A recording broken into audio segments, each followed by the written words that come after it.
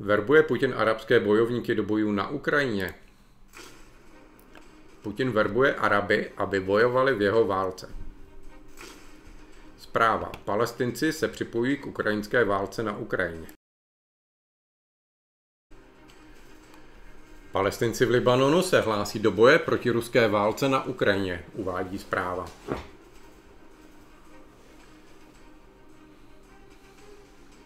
Spravodajský portál The Media Line informoval, že palestinci žijící v Libanonu souhlasili s účastí v probíhající válce na Ukrajině za částku 350 amerických dolarů měsíčně.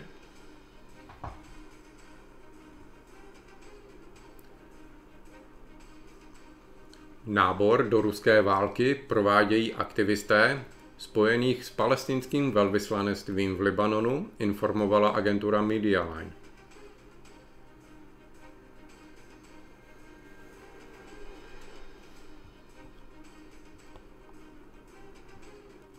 Verbuje Putin bojovníky z libanonských táborů.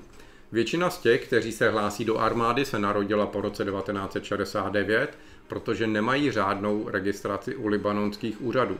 Libanonská vláda nemá možnost monitorovat anebo sledovat pohyb těchto palestinských rekrutů pro Rusko.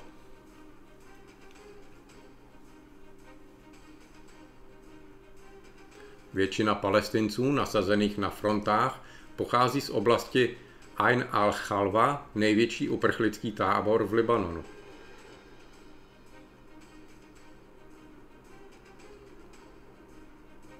Rekruti jsou údajně členy politického hnutí Fatah, které vede prezident palestinské samozprávy Mahmud Abbas. Výměnou za souhlas s účastí ve válce dostávají měsíční stipendium a očkodnění pro své rodiny.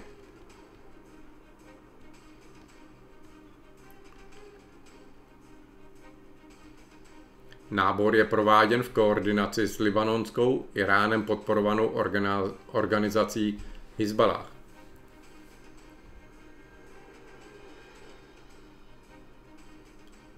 Hezbollah získává mladé příznivce, kteří jsou zkušení v ovládání bezpilotních letounů a v partizánské válce, aby pomáhali Rusům. Zdroj Media Line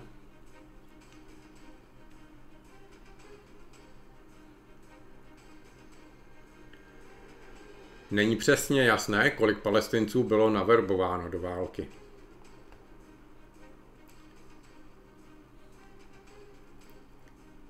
Ale podle zprávy bylo vycvičeno a na frontu vysláno asi 300 bojovníků. Media Line uvedla, že další skupina 100 osob je vycvičeno pro válku.